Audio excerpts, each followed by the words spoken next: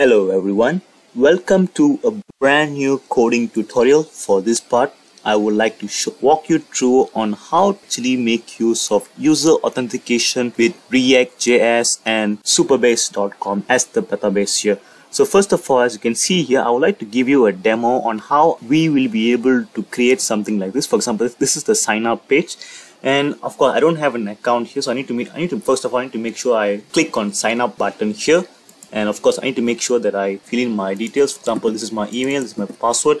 I need to make sure that I, fill my inputs here, which, which are full name, email, and password. In this case, I have to say for full name, I have to say John Doe, and my email will be this particular email and my password is going to be 6 and there you go this is my credentials that I would like to use to create an account so I have to click on submit and once you click on submit you will be able to receive an alert message which says check your email for verification link so I have to go to my email and in my mailbox here I have received a brand new email. Let's click on it. And as you can see here we must be able to click on this particular link here to actually to verify our email that we have just created. And right now you your email has been verified. Let's head back to our our login page. Let, and let's log in here. Let's click on login. And we're going to be using the same credential that we have used to actually log in. For example I'm going to be using this particular email and this password going to be the same email that I've used. Let's check the password and there you go. Now right now let's click on submit.